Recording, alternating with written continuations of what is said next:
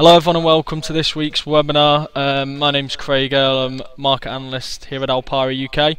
Uh, today I'm going to be joined by Josh, who's research analyst, and Phil, who runs the Traders Club. Hey, how's it going everyone? Hi guys, I'll talk to you later. Great. Um, as always, the format um, is we'll go through the fundamentals first. Now, fortunately, this is pretty slow week, so that um, shouldn't drag on too much. Um, and then after that, we'll take a look at a, a, load of charts. I'll take a look at a few first. Then Josh will take a look at probably five, six, seven charts, uh, all forex. And then lastly, we'll pass over to Phil, who will um, take a look at some indices and commodities for you guys. So hopefully we'll cover everything. But if we don't, feel free to uh, uh, request any charts that you want to be covered. Um, also, um, if you've got any questions uh, when uh, during the um, during the webinar, then please do uh, don't be afraid to ask it. Uh, but first things first, we just have to run through this little uh, disclaimer. Um, basically, it's just simple as always uh, any, any, any anything we say here is should not be construed as investment advice this is purely uh, our own personal opinions and not the opinions of Alpari UK okay now that that's out of the way, let's move swiftly on. And first things first, as I say, we're going to move. We're going to start with uh, the fundamentals. Um, just taking a look at really what the main events are this week, what they could mean for the markets, uh, and so on and so forth. Uh, same old, same old. Um, and it's been a really slow start to the week, if I'm honest. Um, not really a huge amount in terms of data. I think the big focus this week is going to be Asia. uh, something that James touched on in his weekly piece uh, for uh, for this week. Uh, there's a lot of data out in Asia really this week. There's not a huge amount uh, of data uh, for the UK and the US. Although what I should mention that what is out is quite significant data. Um, on Monday, it was the focus was really on Japan, the Bank of Japan Monthly Economic Survey. Um, uh, and we also had things like consumer confidence index. Now this fed into the uh, uh, into the European session. It was a really bright start to the week, really, considering that the numbers here aren't necessarily that great. Uh, I think I think uh, a lot of easing of concerns with in relation to the uh, to the geopolitical events, which we've covered on numerous times in previous webinars. So I'm not going to go into huge detail on, but um, there seems to the, there's been a bit of progress in in Gaza with a with a brief um, with a brief ceasefire being agreed, and so far has actually uh, been held up as well. We've seen no numerous ceasefires in Gaza uh, in recent weeks, and they don't really seem to have lasted. They haven't seemed to have lasted more than a couple of hours, but this one seems to have held up for now. Hopefully, a good sign uh, for things going forward. So that's one area where we've seen. Um, a little bit of progress uh, in terms of in terms of uh, Iraq. Uh, of course, we've seen um, the U.S. step up efforts uh, to help out uh, civilians there and religious minority groups who have uh, effectively been cornered in uh, by uh, the Islamic State militant group. Uh, now we've seen airstrikes from the U.S. and we've also seen aid delivered from uh, other countries, including the UK.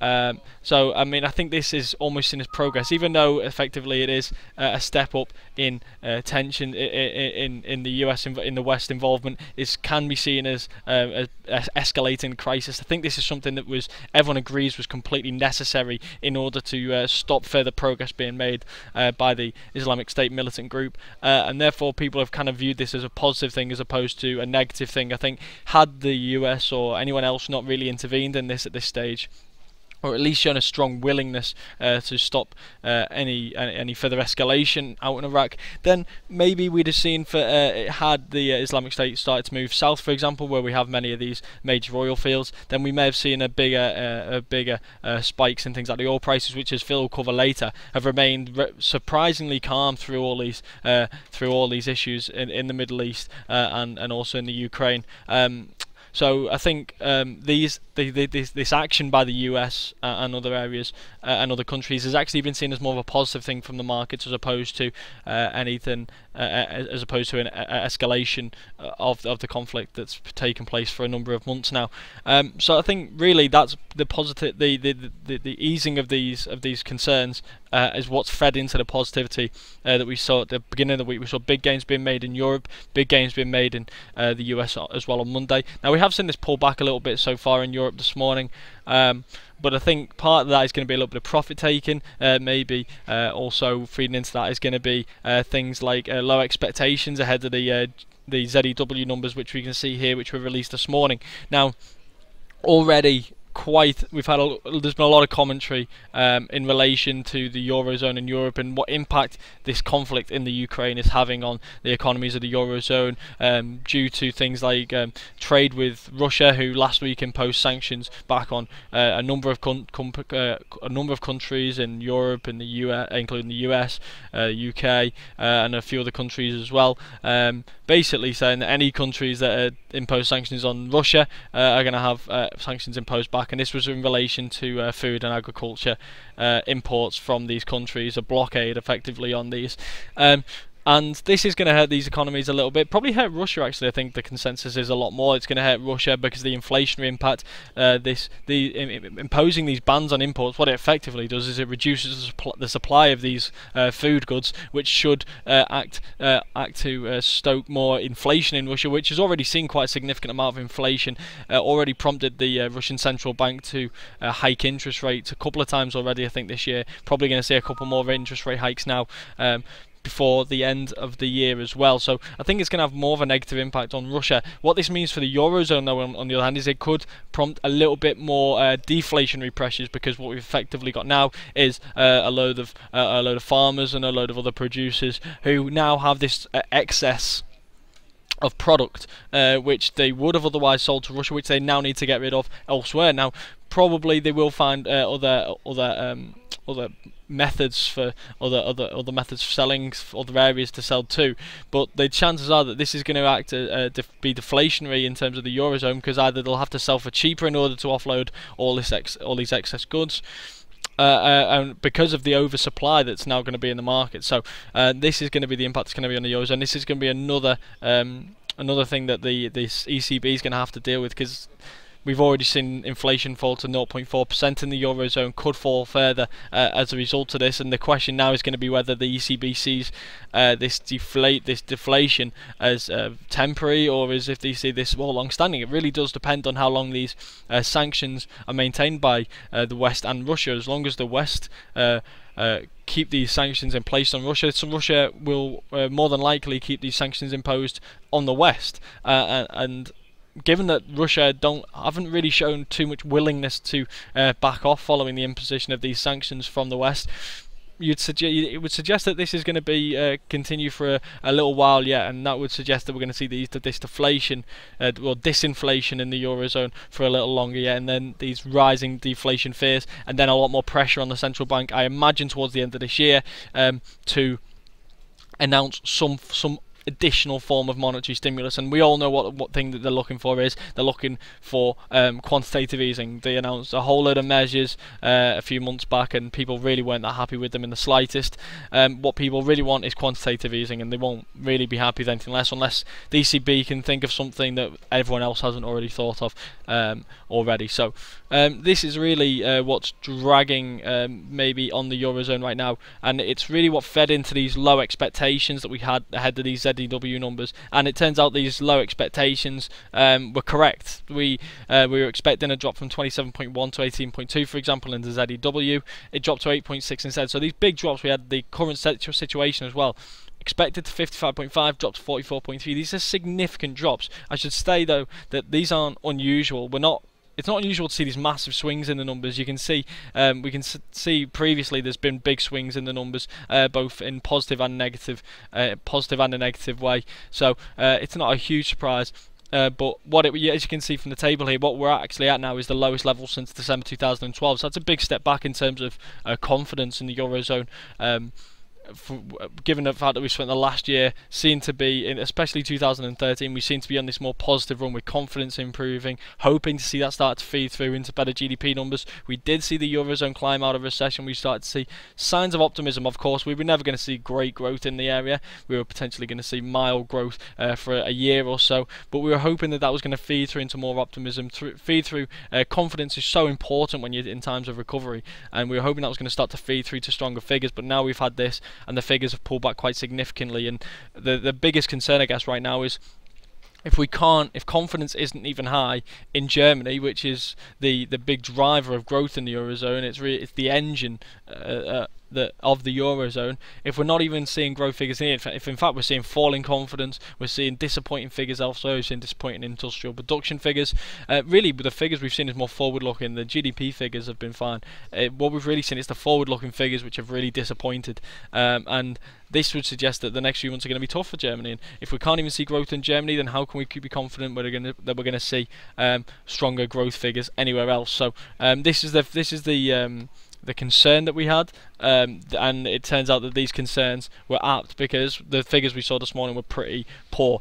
But what was interesting was, despite the fact that we saw a little bit of weakness in the euro after, and as I'll show you in a second, it wasn't excessive weakness really by any stretch of the imagination, which would suggest uh, to me that um, uh, which would suggest quite clearly really that people have priced in weaker figures than uh, analyst expectations uh, on these economic calendars had um, forecast. But it would also, uh, but then following the release, um, the fact that we had this uncertainty disappear surrounding the numbers, we actually saw we saw a little bit of selling in, in European indices, but then we actually saw a bit of a rally off the back of that. And I think once you get rid of that uncertainty over how bad these numbers are going to be, people were actually fairly relieved maybe that they weren't even worse because I think this was pretty much in line with what people were expecting. Well, that's what the markets would suggest anyway. Maybe a tad worse, but not as as bad as peop- some people maybe feared. Um, but going into the rest of this week, it really is looking like a fairly quiet week. Of course, the rest of today is looking fairly quiet. Uh, I think it's going to be these geopolitical issues that are going to be the major uh, driver, really, of the markets uh, this week. Uh, remember also that it's still the summer holiday, so lighter trading volumes is likely to uh, persist um, as well. Um, but going into the week, we've got some Chinese data uh, out tomorrow morning, so this is going to be a big driver ahead of the Open, the European Open tomorrow, and a big driver for the Asian session overnight. We've got industrial production for July, uh, retail sales, urban investment or fixed asset investment, as it's otherwise known these are bigger numbers, in my opinion, than these uh, than the uh, than this would suggest. This is down as moderate volatility expected, a bit of a mid-range number. But for me, this is more important, and I, this is something that I will personally be keeping an eye on. I think could be a big driver uh, ahead of the Open tomorrow, especially given that we had that slowdown in China earlier this year, and we've started to see that little bit of recovery. People are going to be looking for at these numbers for further sign that we are seeing uh, this pickup in, in in Chinese growth in the second half of the year. Things like retail sales are so important as well when you've got a, a country that's so focused on uh, moving more towards uh, a consumption um, led uh, economy, basically domestic, uh, relying on its domestic growth, uh, on its sorry, on its domestic spending for growth, as opposed to things like uh, exports and and and and an investment uh, in terms of things like roads and um, things like that. So like we're seeing a big change in China effectively, and it's things like retail sales which we need to see the big improvements in if we are going to see this transition take place uh, quite smoothly. Um, also, GDP figures as well for Japan overnight is going to be important. Bank of Japan policy meeting minutes. So this overnight Asian session is going to be massive this is going to be the real uh, driving factor, uh, driving force really behind uh, the opening uh, levels in Europe and the US, I think, uh, tomorrow. So a lot going on overnight tonight, uh, which should make James's job very easy in the morning. obviously, he's he's on the early morning reports this week, so hopefully he'll have plenty to write about overnight. Won't have to search too far for a story, um, which can sometimes be the problem when there's not a lot going on in the markets. Um, Moving into Europe, we've got still got more important announcements tomorrow as well.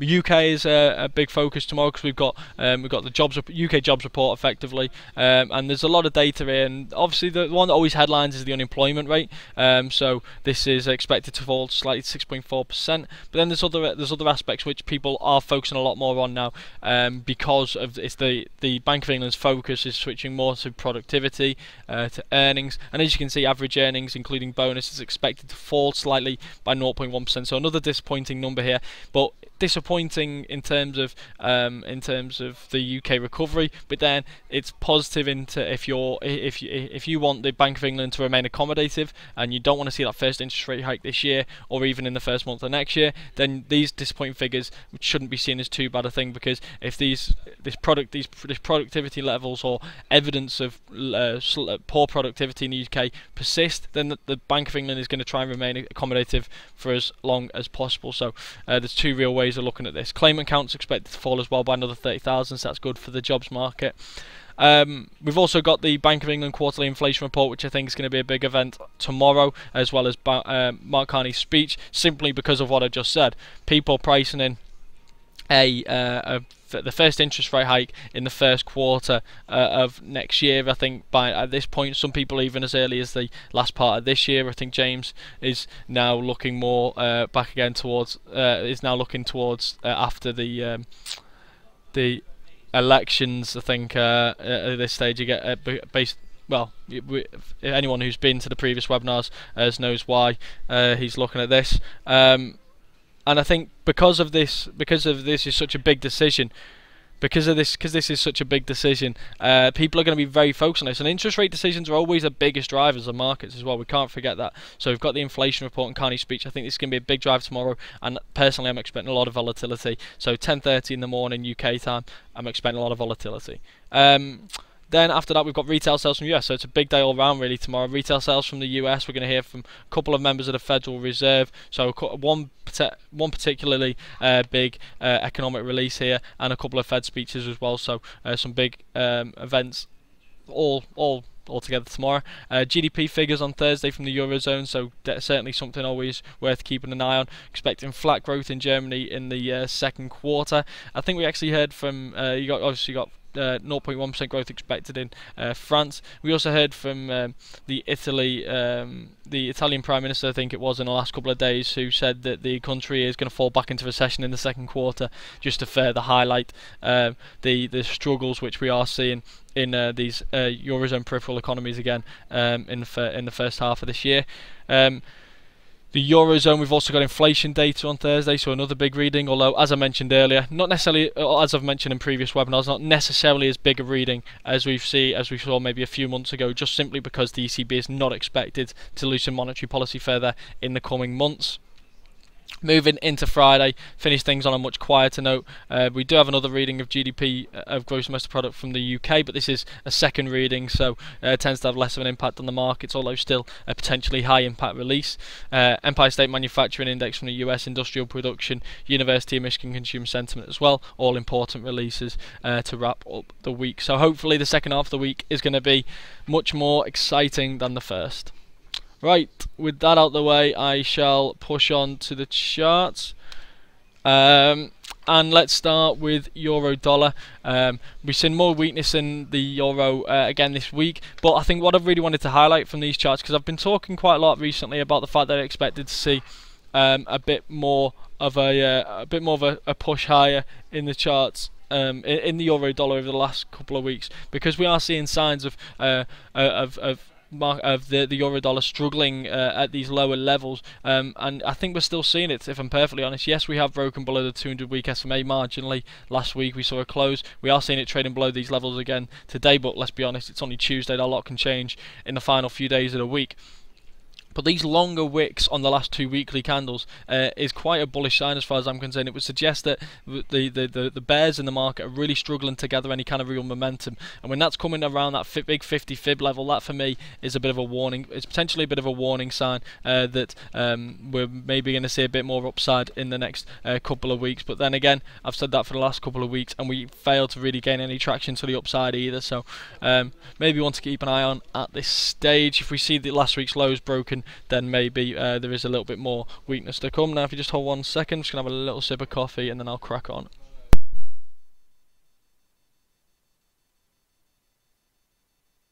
Much better. Um, okay, so daily chart. Again this really has not changed either and that's another reason why I'm really finding it hard to be bearish in the euro dollar in the short term because we've also got this bullish divergence. We've got the stochastic making higher lows the price action making lower lows. If we see another lower low being made again again off the back of uh, high lows on the stochastic I really don't see where this momentum is going to come from to make this bigger move to the downside.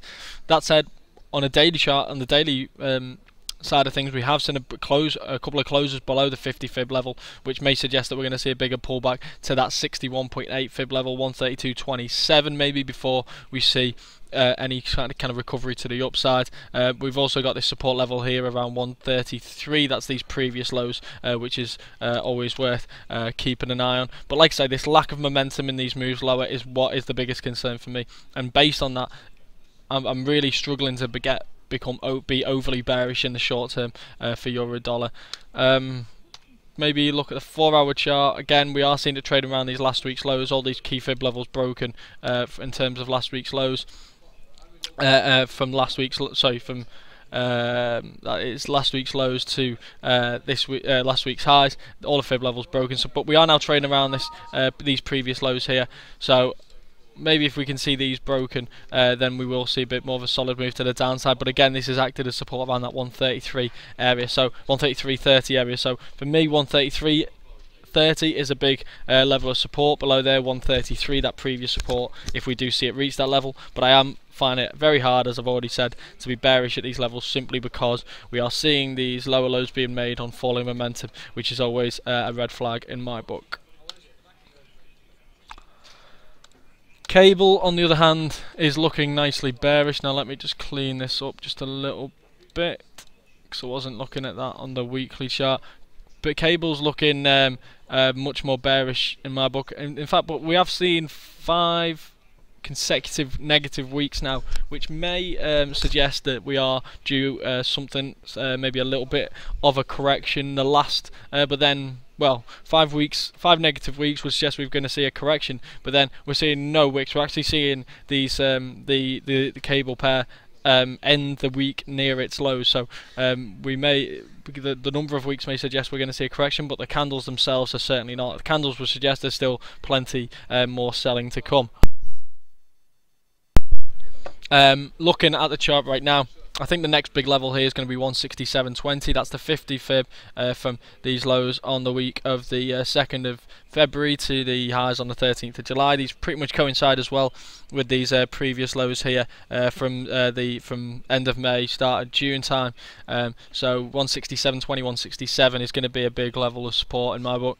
Um, moving down to the daily uh, what we're effectively seeing now looks more like consolidation than any form of uh, correction. And that's what we've really seen at any part part of this uh, uh decline here in your in cable. We saw a bit of a correction here but that looks again that looks more like some form of flag or pennant formation um, or rising wedge as opposed to um, any significant correction. And it looks like we're seeing the same here. If we go down to the four hour time frame for example this is just look at this is just effectively a, a flag or a, or, a, or a, yeah well basically a flag or a rising wedge and we've seen a bit of a sell off again uh, and a mild correction but again I'm not we're not seeing any um, any real um, any really bullish moves here. One thing I would highlight, uh, which may suggest we're going to see a bit more, a little bit more of a correction potentially, is the fact that we've had these lower lows and the price action being made against higher lows in the stochastic. So this is a uh, bullish divergence. So this uh, may potentially suggest that we're going to see uh, a little bit of strength in the short term, but in the long term, I really don't see it. In the long term, if we do see a correction, then maybe we're going to see something like these previous highs here pulling back around that 168.20, 168.36 level, or even if it only reaches the 30 168.2, 168 coinciding with these previous uh, lows could be a big level of resistance. Uh, so that that may suggest a little bit of near-term bullish uh, bullishness in the in the pair, but in the on the daily and the weekly chart in terms of the longer term picture this is looking quite bearish still. And I do see 167.20 167 level uh, being hit uh, fairly uh, soon. Finally let's look at dollar yen. Now I'm in on the 30 minute chart there, so let me just zoom out quite a bit because we've seen a lot of action really. Oh, let me just make sure. Sorry about this. Swat that on the daily. So, dollar yen, we've really just been stuck in this consolidation period again. Um, we saw potential for a breakout. Sorry, I've not been looking at the weekly chart recently, which is why it now looks all of a sudden so cluttered. Um,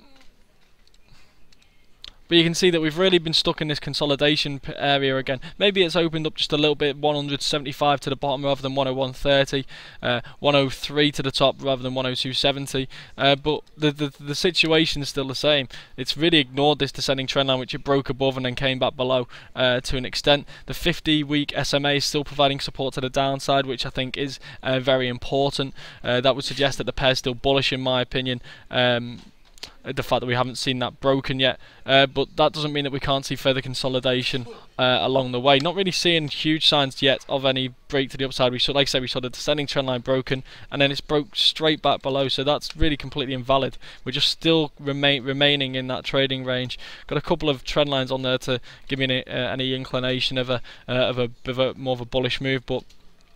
Um, it's not going to be a strong uh, indicator as far as I'm concerned. This is looking. This is potentially a bit more of a bullish candle. Um, but then we haven't really seen it gain any traction to the upside again. So this is just not really a huge amount of change in the dollar yen pair. I really think people are waiting for uh, either the Federal Reserve to be more uh, hawkish and talk about rate hikes uh, more seriously, or waiting for that next move from the uh, Bank of Japan. Because I think that's what people have really banked on is the latter. I think people have really banked on the Bank of Japan making that next move, which has helped maintain this uh, yen weakness um, for this long. And I think if we see signs that the Bank of Japan are not necessarily um, interested in any further easing, then we could see some uh, strong yen strength. And I think this is why we're seeing such consolidation for so long in this dollar yen pair. Uh, but like I say, it's holding up around that 50 fib level in the shorter term. Zooming into the four hour, you can see this 50 fib levels actually being uh, acting as quite a nice resistance right now. Uh, so that may suggest that we're going to see some further moves to the downside here. We've seen it correct to the 50 fib, maybe a move down to these 101.30, 175 levels in the short term. But all in all, in the long, the longer term picture is still one of consolidation. If we see a change of stance for the Bank of Japan, a more hawkish stance from the Bank of Japan, then maybe we'll see some more yen strength going forward. If we see uh, the uh, if we see a bit more um, bullish, if we see a bit more hawkishness from the Federal Reserve, we may see some uh, more buying on forward. But right now, uh, all I'm really envisaging is further consolidation, unfortunately. Okay, uh, that's enough from me. Uh, let's move on to a few more currencies with um, my colleague Josh Mahony. I thought you forgot my name there for a sec, mate. All right, cheers. Um, let me just switch it to my screen. Memento. There we go. Cool. Um, so today I thought I would talk about much of the usual, really. Um, I guess in terms of the major ones that I usually look at: dollar CAD, dollar Swissy, Aussie dollar, uh, New Zealand dollar against greenback, uh, Euro Aussie, Aussie, and then the Kiwi, and then maybe sterling yen, euro yen but let's just try and see how we go in terms of time and just see what we can cover. Um, as ever, if there's any pairs that you want us to take a look at, give us a shout on the questions section of the software and we will endeavour to take a look. Darshan's asking for CAD Swissy, um, which is one that I must admit I don't have lined up at the moment, so I'll take a look and I'll try and cover that at the end of the webinar, which is an incentive to stick around, Darshan. Um, so yeah, this is the dollar against the Canadian dollar. So we were talking previously uh, last week um, about the fact that it's now in a pretty clearly defined uptrend with the fact that we saw this reversal, the breakthrough, uh, this real key uh, resistance level following the support of this long-term ascending trend line. So it held up, held up there. Then we started moving into an uptrend. The questions were being asked around about this level where it was challenging this previous level of support, um, but that previous level of support didn't necessarily hold up as much of a resistance level when we started pushing higher. Now, when you see real clear pattern like that, that's when we start looking on the short-term time frames because you're likely to get a few little pullbacks or some some indications of uh, the next round of buying coming into the markets. Um, so here we had this red descending trend line. The breakout from there soon led to some significant upside. Again, that red descending trend line, you can either take it from the breaking of the previous high, uh, or you can take it from the breaking of that trend line if you're a little, little bit more keen. Um, and either way, really, we did see that strong period of upside. Again, we've got a pennant formation there. The breakout from there saw three strong green candles. Now where we are it's clear that there's a little bit more indecision within the markets. Uh, you can see we sort of had a trend line break and a little bit of upside. Now pulling back. Um, it's just get rid of that now and use it for something different. So now you can see that there is still a trend underpinning this, but previously they've been a lot shorter. Um, whereas we've got a little bit of a longer period of consolidation here, as we had uh, back in sort of early early to mid July.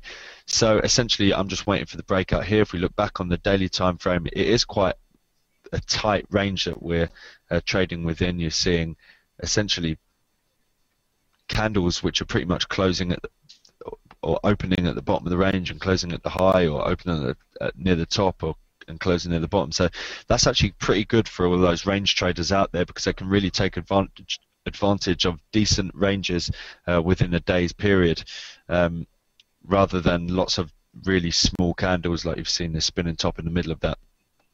Today looks like, in all likeliness, uh, it's going to be yet another one of those strong candles. Much of that um, has been sort of fulfilled already, but you know I wouldn't be surprised if we could see some further upside. Really, the interesting part is going to be the breakout from this previous peak because that's where we're expecting to possibly see some significant move to the upside. Um, but I guess the more interesting part is the fact that I remain bullish. You know, we've cleared out this 109.4 level, which is a ma- major swing uh, high. There's also another level just above that as well to be watching out for which is 109.59 around. Uh, but yeah, again, we've been closing above that, so that means that the respect of that level just isn't as um, isn't as strong as you would expect, really, and that means that in all likeliness, then we're going to see a continuation of this pattern. Now, you can see the stochastic here is turning back towards the upside, um, and this is the kind of thing that we've been seeing uh, on the previous occasion as well. So, on one side, you can draw a trend line and say, all right, we might see that hold up or something like that. Um, but realistically, trend lines within the stochastics, I don't believe are particularly as strong as the trend line within, say, price action.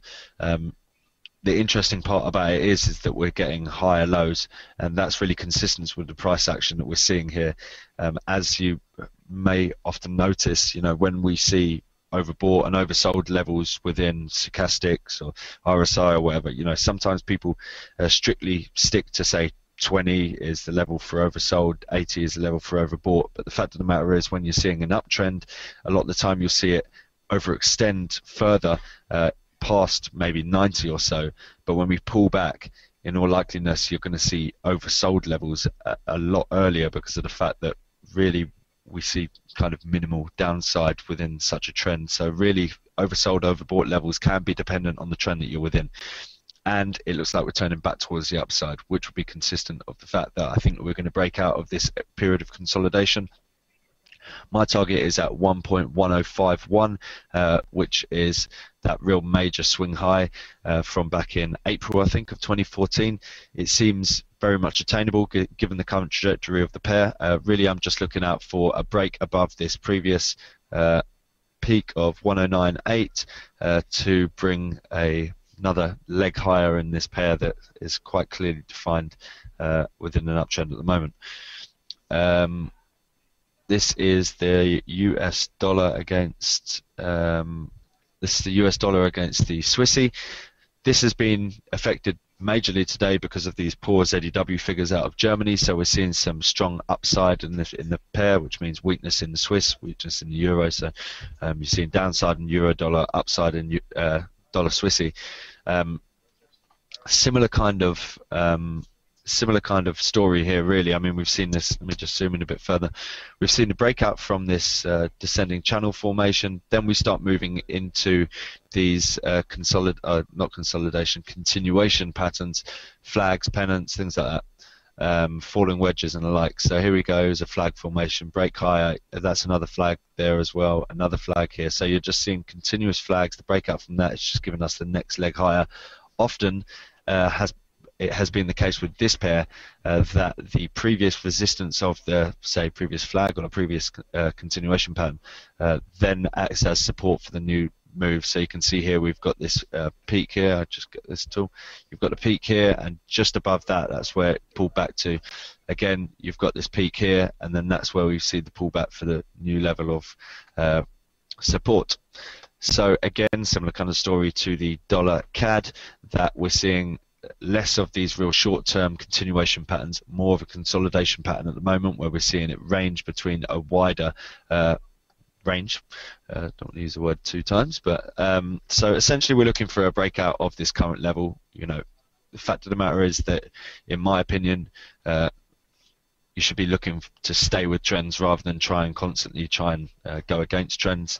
Uh, it might be interesting for people to know that uh, when you look at um, the newsroom and you look at what the clients are positioned as, um, usually they try and go against the trend. Let me try and bring up the newsroom. This is always interesting. So dollar CAD, we've just said that it's looking very bullish and we're in an uptrend and everyone's shorting it. Um, and you'll see that quite a lot that everyone tries to, there you go, dollar Swiss as we are just talking about 35% long. Um, I think people within the retail market have a tendency to want to constantly try and uh, spot the reversals because that's obviously where you're going to get the biggest move. You find it at the top and you uh, short it down to the to the bottom. But the fact of the matter is that you're more likely to find false patterns for reversals uh, than you are to get continuation. So it's it's a safer bet, in my opinion, to stick with the trend and just try and look for the next leg higher within the trend. You don't know how long the trend is. We could still be going on for a while. Uh, in my opinion, I think the next real major level here is 9156, uh, which is a decent way away from where we are at the moment. Um, but I think it's a lot less risky. So it's 50, 60 pips. I think think it's a lot less less risky to go with the trend than it is to try and find reversals in the markets. Um, so similar story to dollar CAD, really. We're just looking for the breakout of this previous high um, for the potential next leg higher, which is 0.9114, something like that. Uh, Aussie dollar. I was just talking about not wanting to find reversals and trying to find continuations, but um, I, as with most people in the markets, find it funner to try and spot the reversals and actually be right. So um, on this occasion, we saw this trend line break, um, and then we saw this potential topping pattern. I mentioned a number of occasions the fact that my target was uh, defined from this inverse head and shoulders formation at 0.95, which was uh, pretty much bang on, and now we've started seeing weakening of that. We've sort of seen this green ascending trend line um, along with a key 61.8 Fibonacci level taken out, and then we saw this sort of flag formation almost playing playing into the markets. Um, a little bit more confusing with the fact that we did see this break above. Um, I can't remember exactly what it was, but it's the kind of thing that you'd get with a fundamental story that um, if technical traders had it their own way half the time. They'd, they'd get rid of all fundamentals um, and just purely trade on charts. But sometimes fundamentals can throw things a little bit out of kilter and make you get stopped out. Sometimes it works in your in your favour. So, um, but the fact of the matter is, we saw this sell-off. We saw it close below uh, the previous support level of this sort of flag formation and this is giving me more confidence that we are actually seeing a reversal in this pair. The fact of the matter is, when you're looking for reversals, you're looking for lower highs, lower lows. So let's say this is in, in an uptrend, you're looking for lower highs, which we're definitely seeing, uh, and lower lows. So we had flat lows. That was followed by lower lows that we're establishing now. Um, I think the real major level to determine whether we are now in a in a sort of downtrend is going to be whether we can clear out this level. This 50 fib at 0.92 is absolutely massive. Um, and when you look at this on the grand scheme of things, then you could see a low here, a low here, and then a low here, which means that we've still got a higher low, really. So this could just be a very deep retracement uh, of this next low. Um, so, you know, that's going to be interesting. But for the time being, I think the key here is so we're looking at four out. The key here is price action remaining where it is. It can consolidate all it wants, um, and that will make it look bearish because we're coming in from the from from the upside.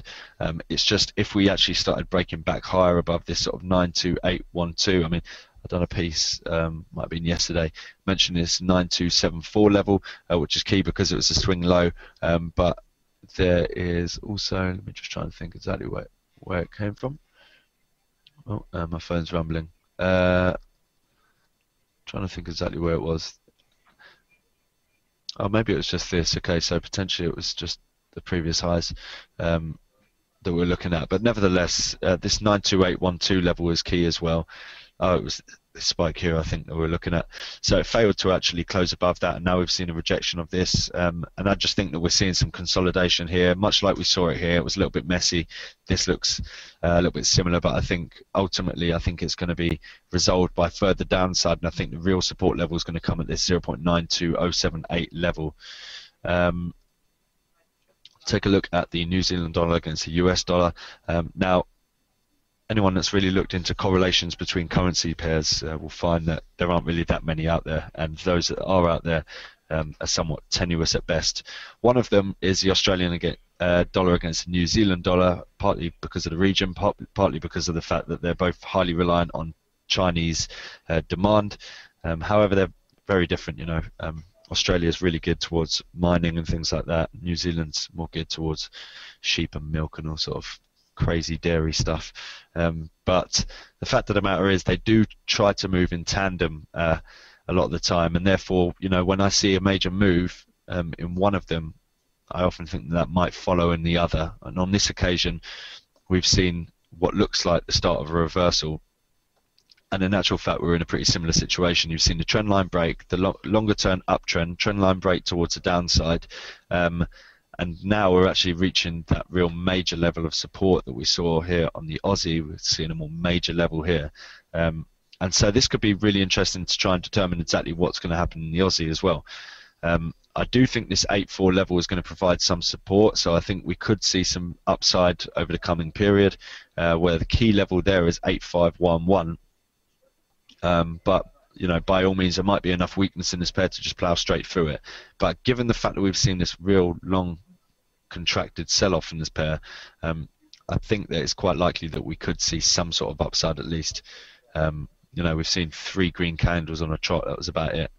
Um, and so, you know, I'm interested to see where this uh, whether this 8-4 level holds up. A close below that will make me uh, look towards a much more uh, bearish picture for the pair, whereas for the for the moment I'm kind of neutral. You know, I'm open-minded to the potential of a uh, move back towards the upside.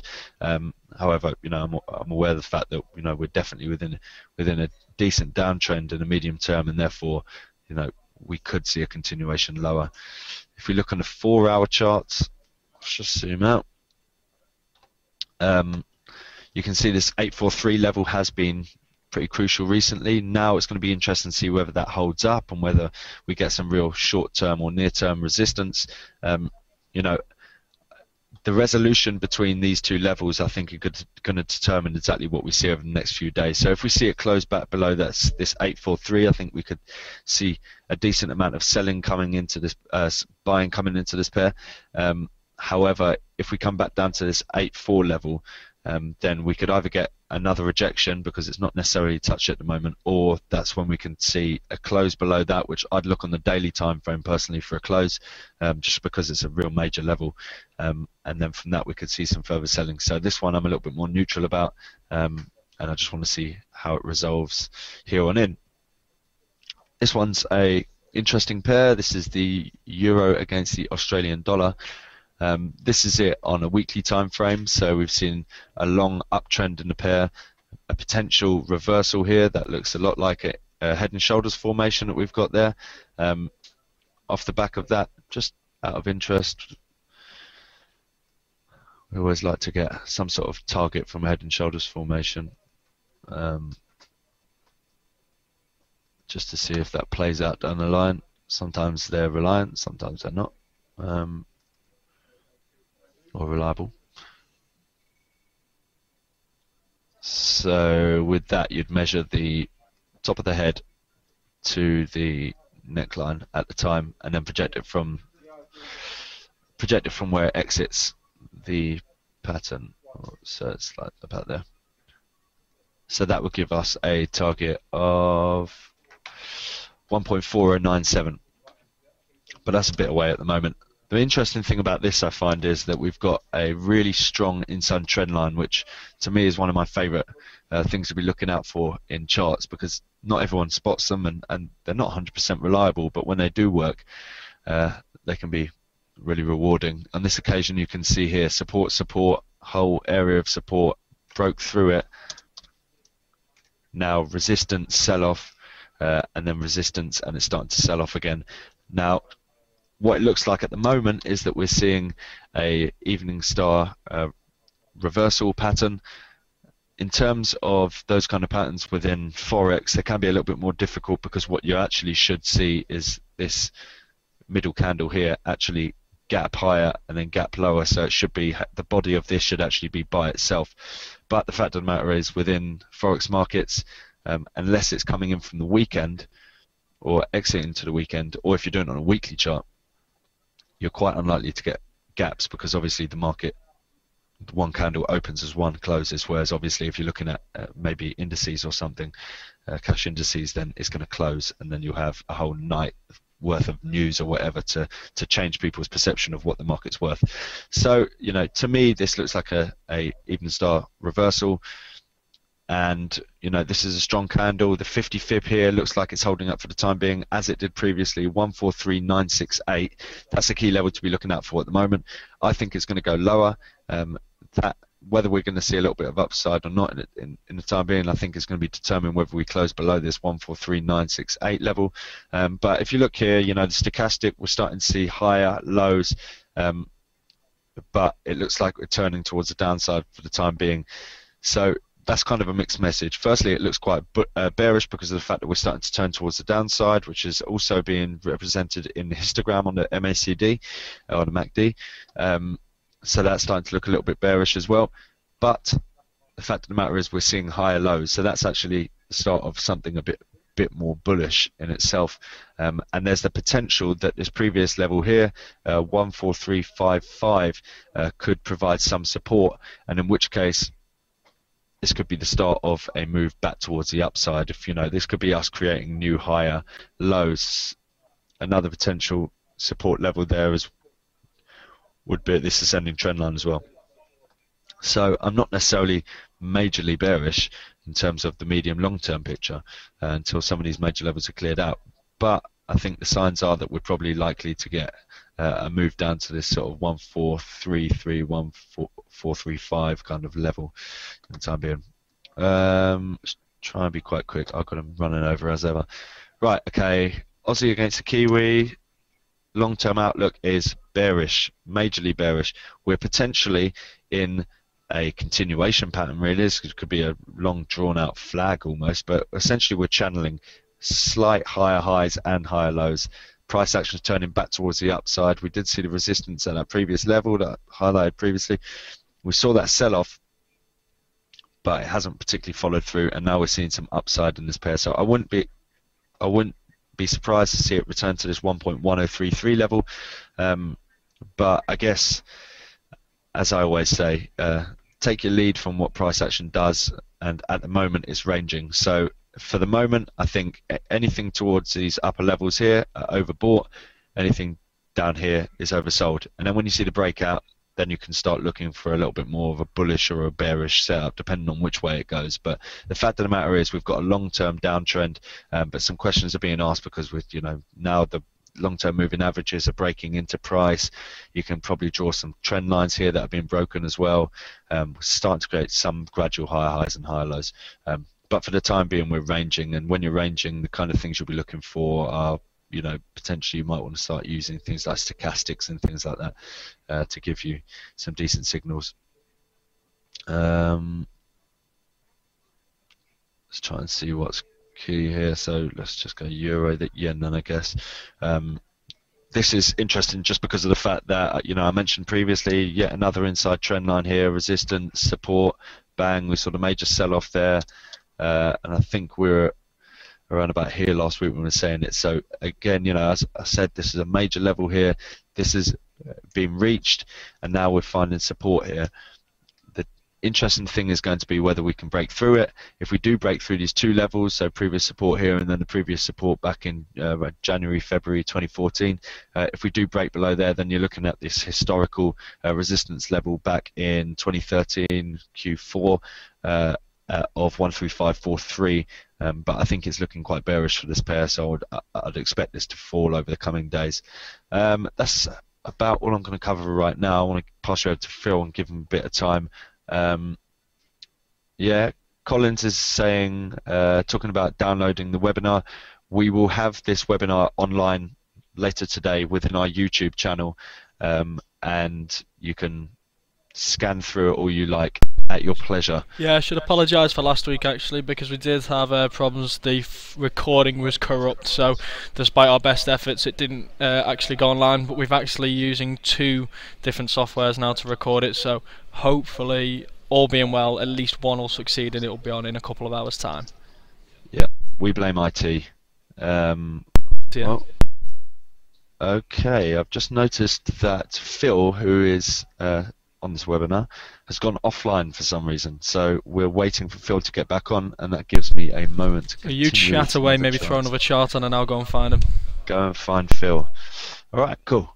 Um, pretty much every every week we get I get- get requests for sterling yen and euro yen. So I guess missing out sterling yen would have been sacrilegious almost, and I'd probably get someone sending me a message anyway telling me to go back to it. So um, here it is. Um, so you know, with within euro yen and sterling yen, it's kind of a fairly similar picture. You'd expect further downside in the euro yen than you would in sterling yen because of the weakness that we're seeing um, in the euro.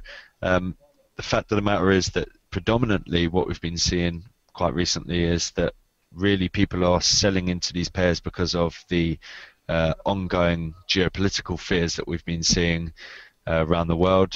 Uh, I was going to highlight one, but to be fair, you can take your pick. There's so many going on at the moment. It's a worrying time, but um, we have seen a little bit of upside. You can see here that um, we've seen this massive gap open. So we're talking about gaps within the forex market. This was Friday's candle and this was Monday's candle. So that's when you can see major gaps. Otherwise, generally candles will close at the same time as the next one's open.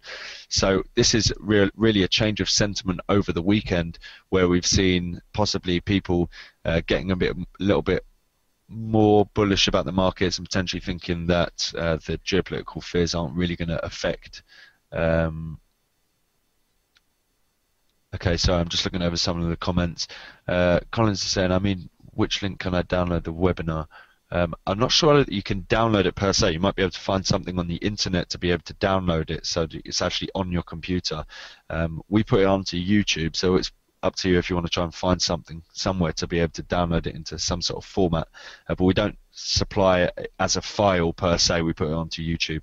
Um, Charles saying, where can we get the link? Um, let me just. I'm going to give you the generic YouTube. Um,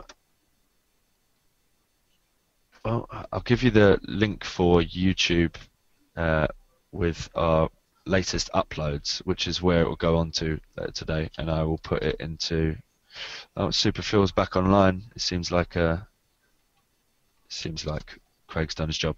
I've just the sent software him crashed, so uh, unfortunately he disappeared. But he is back Okay, and gonna waiting. Blame, gonna blame IT again. Uh, if you look down into your chat box within uh, the software, uh, I've posted a YouTube link which has all of our more recent uh, videos. So if you refresh that maybe in a couple of hours or something, yeah, uh, then that should have the whole recording of this video. Um, yeah, so I'll, I'll just be quick with this. Fact of the matter is that we've seen this major bearish breakdown in price action with this. We saw the triangle formation, breakout towards the upside, newfound support, pushed higher, newfound support, expecting it to push higher. But these ge- geopolitical factors, I believe, were what led to the deterioration in this and the continued selling in this pair. Um, and now, really, we're just looking to see how far it can go. If I think that the fact that we are where we are is due to uh, geopolitical factors, um, then really it's just going to be up to the markets to see exactly how far they want to take this. Signs are that potentially that's weakening with the fact that we've seen this major gap higher, and you're seeing a spinning candle yesterday. Today it looks like a doji formation, um, but really, I mean, I, my real major levels of support and resistance were around here at 1725, this 50 fib. There's a whole range of them really. Uh, you know, the descending trend line from here. So the fact that we've broken below that is bearish. Um, and if we do come back up, I'd like to see some sort of resistance coming here for a, a further sell-off. But again, I'm a little bit anxious to uh, to call this one only because of the fact that I believe that it is where it is because of geopolitical factors. I don't think if everything's been kicking off as it has been, it would be where it is. I think we would have found support and actually pushed higher, which is what I was talking about at the time. Um, so yeah, I, I, I just want to see if we do see further upside. I think we'd find some resistance at this uh, whole raft of indicators for a potential sell-off, and then if we do manage to close back above that, uh, then we'll start getting a bit bullish again. But I think it's got a bit muddled because of everything that's going on in uh, in the world right now. Right now. That's actually Okay. quite a nice uh, bullish harami pattern, which is uh, quite unusual in forex because you don't tend to see these uh, uh, different opening and closing levels because of the 24-hour tw- 24/5 nature of forex mugs. That's quite actually quite a nice little bullish harami, which isn't the most isn't as bullish as say an engulfing pattern or uh, No. anything like that, but still Yeah. fairly bullish. I just uh, I just had another message from Collins. Uh, he's saying, can you highlight the, the truth about dojis and how can someone analyze a doji? You can look through our uh, education material and it will be on there. But uh, just briefly, a doji a doji formation or a doji candle is essentially a candle where the open and the close are pretty much exactly the same. Um, you can see these generally at the bottom or tops of markets. So you, you can see there's one here, um, and essentially what it means is there's indecision in the market. So you can see essentially eno- as many people buying into the markets as selling it into the markets. So when you see a period like this, where you can see essentially a doji there, doji, doji, this is a spinning top formation, doji, spinning top. That's a bit of a chunky spinning top, and then a spinning top. All of those are indecision candles, and that to me makes me think that this level here, which I was expecting to hold up, is likely to hold up as support because there's indecision in the markets. People don't know whether to continue this downtrend, um, and subsequently we saw this move towards the ups. And essentially, a doji is a candle like this, and all it means is indecision. And indecision can come at tops and bottoms of the markets, but it, it it's not necessarily going to come at tops and bottoms of the markets. One quick thing I'd add to that is uh, the thing with with dojis and spinning tops as well. I guess uh, a lot of it can, uh, whether it's an in, whether it well, it's obviously always indecision as Joshua said. But I always find the longer the uh, upper and lower wicks um, tend to come before reversals. If it's a small lower and upper wick, then that can sometimes signify that it's consolidation and therefore continuation. That can sometimes be a giveaway. But a lot of people, when you've got things like uh, dojis and spinning tops, uh, it depends whether it's at key levels, as Josh has already highlighted there. Uh, but also, people, a lot of people will prefer to wait for some form of uh, confirmation. So maybe that extra candle, like this green one, uh, after the uh, period of of, uh, of of indecision that he highlighted, which can sometimes then highlight maybe a, turn it turn it into a morning star or an evening star setup, a nice three candlestick pattern, which can act as confirmation. So just a little bit of extra. Cheers. Uh, right, Phil is starting when he was supposed to be ending, so needless to say that we are running over yet again, but that's fine. Okay. If you want to stick Well, with I'm- us, then we'll be glad to have you. Uh, let me just Well, pass you the I'm ready now. I'm ready now. If you want to pass it over to Man, me, so You tried to do a runner, didn't you, Phil? yeah, so up, uh, clean screen. Here we go. So apologies, guys. Windows decided to do some dodgy update and crush everything on me while I was waiting to speak. Um, so I'm up and running now. So hopefully you can you can see my charts. No, I Um, can't see your screen, mate. Can you see it now? Mm, no. No, I can, yeah. So it's Now you can? My, my computer being slow, probably. Yep, that's great. Okay, cool. Well, um, I'll, I'll cover very briefly some indices uh, and some commodities. So we can talk about um, S&P and FTSE and DAX and futures in general rather than the spot price, and then we can cover gold and oil. Um, if you have any questions, um, send them over, and then we'll cover them as, as we go along. So. Um, Firstly, I would like to talk about S&P, uh, and this is a daily chart of S&P. You can see that we saw a, quite a bit of a consolidation and uh, a, uh, quite a heavy pullback, um, which is not really that great, actually, to be honest with you. Most of the analysts or people were expecting this 10% pullback and so on. So far, we just managed to do kind of uh, three and a half, five percent on most of the indices, apart from DAX. But um, needless to say, um, geopolitics um, kind of caused a bit of a, a volatility, and uh, some major support levels were lost.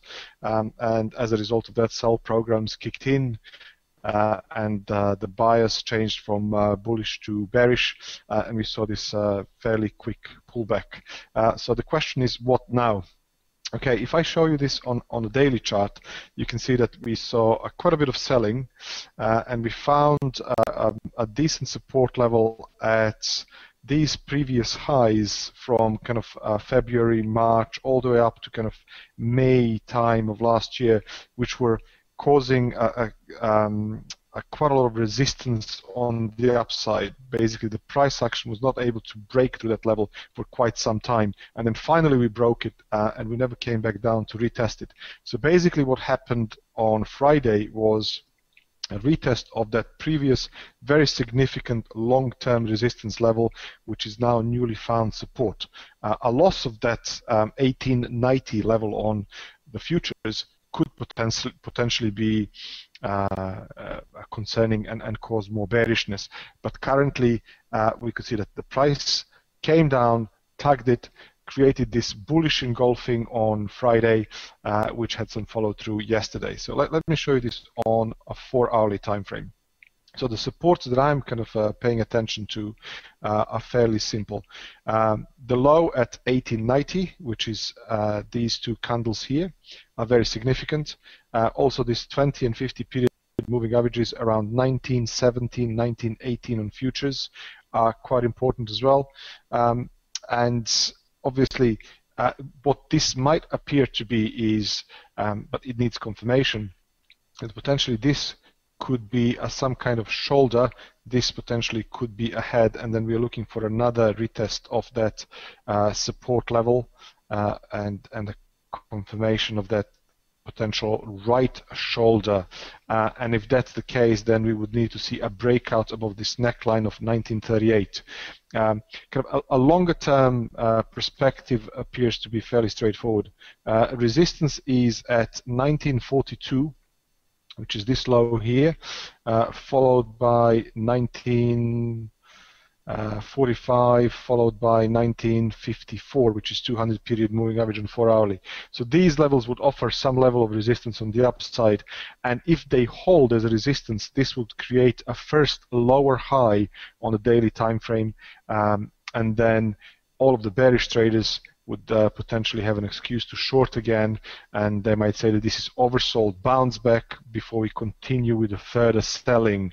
Um, alternatively, if we successfully break through that level, 1945, then all of this would be confirmed as a corrective pullback in the overall uptrending market, and then uh, a further upside is quite possible, potentially targeting previous highs, including these 1982, 1990 levels. Um, so the time will tell. Is this the oversold bounce back or is this a continuation of the uptrend? Um, for those of you who are trading a, a shorter term, uh, an hourly time frame is, is uh, very important for today's trading range. So the low at 1931 is a really significant support. A loss of that level could potentially target 1928 followed by 1923. A loss of those three levels could potentially target further downside, including that 1909, as we already mentioned. As long as this level holds, then uh, potential upside resistance is located at uh, yesterday's highs, which is at 1940, and then successful breakout through 1940 and hourly close or 15-minute close above that level could potentially go as high as 1945 and then 1953, as already mentioned. Um, we have a futures opening just now, uh, and then the spot price will open at half past two uh, UK time. So these levels are really, really important for your today's trading range. Uh, let's talk about FTSE very, very briefly. Um, FTSE, unlike European indices, unlike US indices, uh, which were creating higher highs and have had kind of sideways consolidation and a shallow pullback, European indices uh, pulled back significantly and very, very quickly. So when my computer crashed, uh, I lost all the kind of drawings that I had and annotations. But I would like to show you this uh, in FTSE, uh, if I may, and I think this might be quite telling for you as well. So FTSE created a sequence of lower highs and lower lows, uh, and also we can connect these and I'm going to change that into red so that there's no confusion and you, you will know that I'm talking about resistance. Now, here we go. There's a sequence of these resistance touches which always resulted in stochastics being overbought and then further selling. Um, and then we had one, two, three, four. This is a fifth touch on the downside as well. Um, a massive uh, reversal candle on Friday, followed by a trading range on Monday, and this is where we are at the moment. So this is a daily time frame. This is a daily time frame for FTSE. Now, what I want to do as well is is this. So if I remove this fib, and I had all of this done nicely for you, but I lost it all. So um, we do this and take this swing high and go down to this swing low. That brings us nicely to some resistance levels on the upside. We are currently at about 38.2 fib retracement from this swing high to this swing low, which is also support and resistance on a longer term time frame as well. So the breakout and uh, at least a four hourly or hourly close above this 6605 level or uh, 66 um, 10, 15, thereabout these previous highs, could potentially target further upside at 66.40, 66.52, followed by 66.75. Um, and then obviously this 200 period moving average, and then we are heading towards this falling resistance trend line. Okay, but uh, this is this is the important level: 66, 40, 66, 39, 50. This level here is really really important. Alternatively, if this current levels uh, and uh, offer a, a, significant level of resistance and a new seller's return, um, then the further downside should be um, kind of supported by 66, mm-hmm. 65, 62, which is 50 period moving average and the cluster of these lows, um, and also this level here, which is 66.51 before we drop further. Uh, in the actual chart appears to be forming a similar structure to S&P and, and, Dow Jones as well, with the creation of this potential right shoulder with a neckline at 6608, 6610 for futures, um, and then obviously a massive support at 65, 64, 65, 51. Um, so this is the one to watch, uh, and it could be quite tradable as well. For those of you who are trading uh, for a shorter term time frame, we had a sideways consolidation for most of the session today with a clearly identified support on the downside at 65.70 followed by this 200 period moving average at 65, 65, followed by 65.51 the, the numbers are now basically levels are repeating again. Alternatively a successful push through this uh, moving averages at uh, 65.93 66 even uh, could potentially target 66.06 60 610 uh, as a next level of resistance on the upside. Um, I would like to show you this as well very, very briefly. This is DAX, and this is the daily time frame uh, for this German index, and uh, this index has been punished the most. Um, you can see that it was in a clearly defined uptrend. The current price action is well below 20 and 50 period moving average, which created a bearish cross, and also well below 200 period moving average. So this correction uh, is almost over a thousand points, which which would be equal to almost a 10% correction. So S&P, Dow Jones, uh, they all had a shallower pullbacks, including Nasdaq as well. Dow was published uh, punished by geopolitical situation, by situation, uh, developing situation in Russia, and so on. Um, so, those of you who, who are kind of monitoring fundamentals as well realize that on Friday we had a news that um, uh, an army was potentially moving back to the barracks from Ukrainian border on Russian side, and that coincided very quickly, or approximately at the same time, with airstrikes being approved um, and and kind of. Um, starting in Iraq as well. Uh, so those two events removed certain amount of geopolitics, uh, geopolitical uncertainty, um, and uh, as such, the, the, kind of uh, support levels were challenged, and then loads of buyers returned to the market and, and pushed the price higher. But um, what's happening next next is is really really important. So this is the daily time frame. You can see a huge correction. Um, uh, is this the end of it? Uh, and uh, these previous levels, um, which were lows in February of this year, offered some level of support and incentivized buyers to come back and uh, uh, retest those levels. So I'm going to make it bigger for you so you can see it. Um, so this 89, um, 18, 89, 20 level was really, really important. It offered some level of support, and then we saw a follow through on Monday as well. But um, what next? So um, a DAX chart appears to be very similar to FTSE and S&P as well, with the creation of this potential neckline, uh, but it needs a confirmation. So there is our potentially right shoulder, there is our head, and if we assume that uh, these previous lows here at uh, 98, just bear with me a second, I just need to remove something from my screen, uh, 90 at 9031 uh, offer some level of support on the downside um, and that creates a higher low um, and stochastics goes from overbought all the way down to maybe neutral and offer bullish buyers an opportunity to buy again because it's neutral again. And then we swiftly move higher and break through this um, current highs at uh, 91, 96 uh, on futures, then it would mean that potentially we could target further upside, um, including these uh, 93, um, 80 level, even 95 levels, um, which would be 50 period moving average, uh, and also the cluster of these previous lows as well. Um, Alternatively, if we lose the, the current lows and drop very quickly below 90.31 and especially below 89.20 and create a daily candle below this level, then it would be logical to assume that um, this current downtrending um, action could possibly continue uh, uh, and uh, further selling might might occur as well. Okay, so let me just remove this very quickly.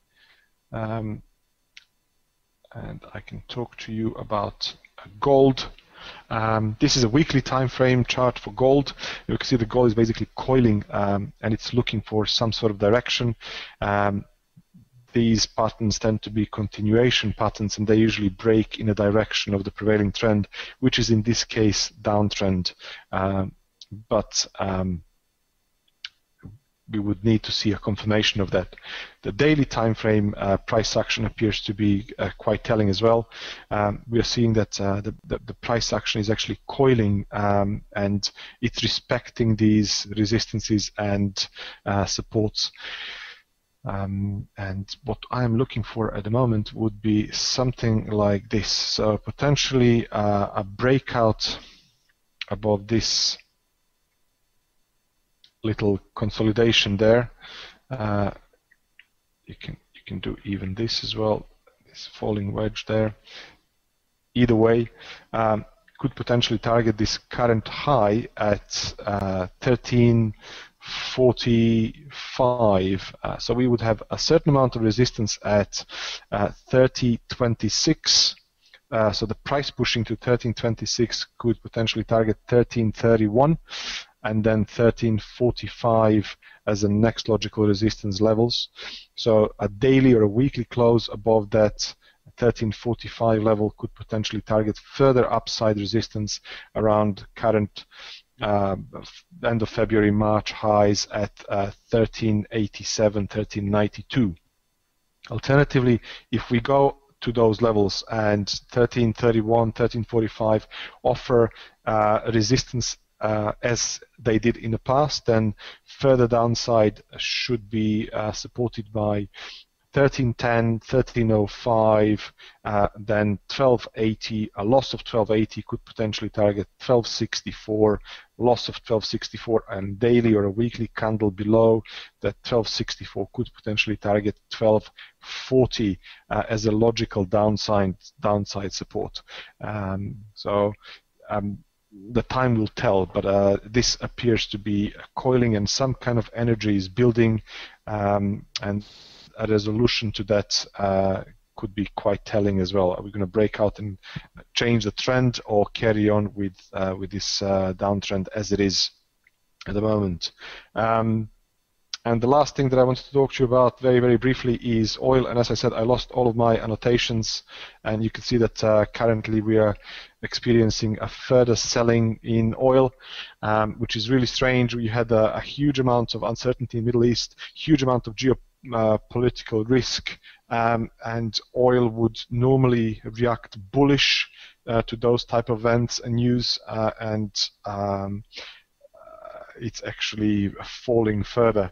Um, so the levels that I'm watching very briefly for, uh, and this is WTI, this is CL contract or US traded oil rather than Brent, um, would be uh, a very important support at 95.55 followed by 95.21 um, levels. Uh, a loss uh, and the daily close below those two levels could potentially target 94, 92 uh, level, uh, which would be 61.8 fib retracement from $84 per barrel all the way up to 112. So quite a lot of downside support and a heavy, heavy support.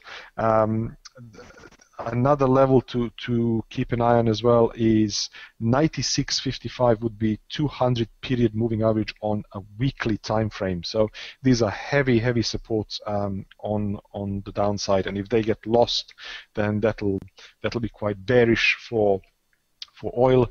Alternatively, if the current levels uh, hold and offer some level of support, uh, potentially oversold bounce back um, could occur. Let me just change the color of this and make it blue so you know it's a it's a support. Uh, then uh, previous highs and these falling moving averages at uh, 96, uh, 95, uh, 97, 50, 97, 40 would offer some level of resistance on on the upside as well. Um, and a, a daily uh, breakouts through uh, above that level could potentially target uh, these 98.74 as a next logical upside resistance. Um, so bearish at the moment, uh, but overall some major major support levels are beneath us, and if they get lost, um, they, they, they, would they would be uh, confirming the the bearishness of this trend. Alternatively, if the traders come back and find some value around the current levels, then keep an eye on at, uh, as I said, 97, 16, 96, 95, um, 97, 56, uh, 97, 85, and 98, 74 on the upside um, as the resistance levels. Okay, so apologies, guys. Uh, we probably overrun by quite some time, but you could see that most of you are still here. So uh, hopefully this was um, in, informal for you. Um, and, and uh, if you wish to join us, we have uh, a Traders Club event tomorrow at Alpari. We start at 3 o'clock. If you're close to London and if you can commute, come and join us. It's a, it's a group of uh, independent traders. We're just uh, discussing um, kind of uh, markets uh, in general, um, levels of interest, and um, it's a good community and uh, it's a good opportunity to network and share. So it would be lovely to meet you. Cool. Cheers, mate. Um, I am, even though we've run off, run over, um, I've still got Darshan and Phil's questions to answer, so I'm going to be really quick in doing exactly that, but can't accuse us of not being thorough here at Alpari. Um, right. I'll be quick. Uh, so CAD Swissy was what was asked by Darshan, um, and essentially this is the uh, daily time frame. Let's take a look on the weekly. So you can see we've had a major downtrend, the break of this trend line towards the upside, potentially pointing to a little bit more bullishness coming into the markets and a possible reversal uh, in fortunes. However, now we've seen this break through this ascending trend line. Um, and essentially we seem to be caught between two major major uh, support and resistance levels that come in the form of the 50-day and the 200-day simple moving averages. Um, one thing that I found notable about this is the fact that we saw when, in this downtrend prior to seeing this break higher, we saw this bullish divergence with the establishment of higher lows instead of the lower lows that are actually happening in price action. That led to a, a move towards the upside. Now we're seeing the exact opposite. We're seeing lower highs uh, but higher highs being made in price action, and that's now potentially being reflected in this break of the trend line. We've seen uh, area consolidation, um, and you know I just want to see the breakout from this area. I think is potentially to the downside, which would reflect the um, which would reflect the uh, fact that we have been in a longer term downtrend. Um, and so that might be a continuation of that. This here could essentially be some form of flag formation or something. Um, and therefore we could see a continuation lower. But really, I'm just going on the fact that we saw this bullish divergence, the the buying. Now we're seeing a bearish divergence, and that would play into the hands of the longer term trend. Uh, but anyway, I just want to see uh, how the pair reacts to this area of consolidation, wh- whether it moves below the 200 day or above the 50 day to give me a little bit more of an idea of where it's going next. Um, this is the euro against the New Zealand dollar. Uh, what I found interesting about this pair is that this is a weekly time frame.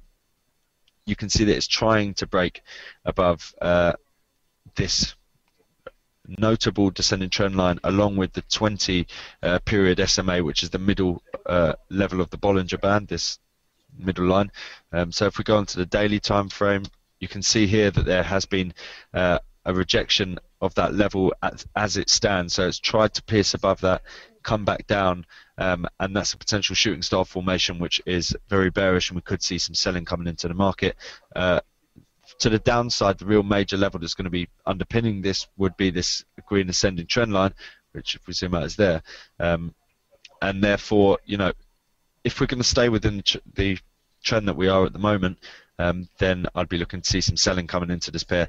If we see it close on the daily time frame above this trend line, then that's going to give me a little bit more of an insight into a bit bit of a potential bullish outlook, um, but then you're going to start looking for it to start creating higher highs and higher lows. So then it's still got a way, way, way to go until the next major level of resistance around 1605. Um, but for the time being, I think that we're likely to stay or remain below this trend line and start seeing some selling coming in uh, to the rest of the week. Um, what you can see here again is a similar kind of story as previously. You're seeing a downtrend in price action and an uptrend in both highs and lows um, on the MACD. So that is actually bullish divergence, and that points to potentially, if we did see a break here, then we could see a decent bit of upside on the pair. Right, that's about it for this week. We've ran over by a solid 22 minutes, so thank you for everyone that stuck with us. About half the people have, and everyone else has gone back to their day job. Um, uh, we just uh, wanted to wrap it up really with the usual in terms of highlighting uh, what we do here uh, at the Alpari Towers, um, and essentially, uh, you know, any of the TA or fundamental analysis that we do goes up onto the newsroom at alpari.co.uk forward slash newsroom. TA goes onto here on daily occasion, fundamental analysis to give you an insight to what's happening that, that day in the markets. Uh, so when you get up in the morning, um, when you get up in the morning and you don't know exactly what's what's happening that day. The likeliness is that one of us has, has already had to wake up at five in the morning and uh, and write about exactly what is going to happen in the day in our in our opinion. So definitely come and check it out. Um, and hopefully it will be of use to you. We've got daily videos as well, giving you an insight into what's been happening in the trading uh, with the markets and the, you know political insight as seems to be the, the norm at the moment. Um, and we have the webinar and the technical analysis videos that come up in this box. So, like I said, if you want to watch back on this webinar and see some levels or anything, if we're talking a bit too quickly for you, trying to get all this content in, or with our very scouse accents that we uh, we seem to have on this uh, on this team, um, watching the video back can be pretty crucial to you, and it will be within this technical analysis video alongside the playlist uh, within the YouTube section, uh, the Alpari YouTube section. If you want to contact any of us, we're always available uh, on the emails. We are jmahony at alpari.co.uk, c Erlam, so C E R L A M, at alpari.co.uk, uh, and then James, who's not on this week because he has to get up early, um, is Hughes at alpari.co.uk. Uh, and then Phil's is, which one do you want to say, Phil? Your super secret one or? Phil's not here anymore. Okay. He kind of is here. He's just kind of wandering over to the desk as we speak. Oh, here he is. He's he's wandering towards us. No. What's the email? The Traders Club one, right? Yes. Okay, so it's Philip at and there's two L's there. Philip at traders-club.co.uk. Um, as we said before, you know, it's a great opportunity to actually meet um, people that are like-minded towards you in terms of sitting down and actually, you know, you can participate and start piping up and saying exactly what you think's happening in the market, or you can sit there and see what other people, be them professional traders, some of them, it's full-time traders, or people that are, you know, part-time traders, whatever other people's opinions um, on the markets and what they think could be happening going forward. Sometimes I'll look at something and be sure that it's going to go up, and then Craig will look over my shoulder and say, "Oh, you forgot to see X, Y, and Z, and that's why I think it might go down." So it's interesting to see other people's opinions. Um, otherwise, follow us on Twitter where we chat the usual nonsense slash uh, very insightful comments. Uh, depends on what kind of day you catch us on, um, and our Twitter feed is down here, so you should be able to click on any of these names and find us that way. But it's at Joshua underscore Alpari UK, Craig underscore Alpari UK, James underscore Alpari UK, and at Philip Concha. Uh, but that's about it, guys. Um, glad to see that you're finding it useful from some of the comments, and we will see you next week for much more of the same. Cheers. Okay. Thanks for listening. Thanks. Cheers, everyone.